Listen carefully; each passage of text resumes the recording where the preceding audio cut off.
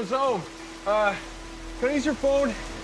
My, my car broke down a few miles up the road, and this is the first house I saw. Well, lucky you.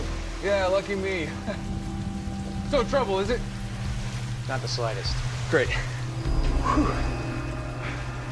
Hey, man, I really appreciate it. It's, uh, it's rough out there. Billy, show our visitor where the phone is in the kitchen. And get me something. Yeah, sure thing.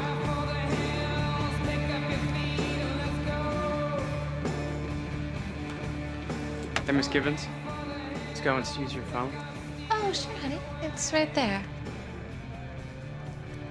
Thanks.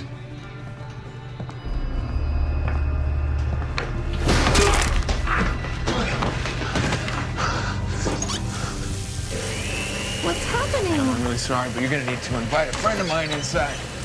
Oh, I'm sorry. He's not allowed in the house. Yeah, no, but you're gonna have to make an exception. Get her out of the house now.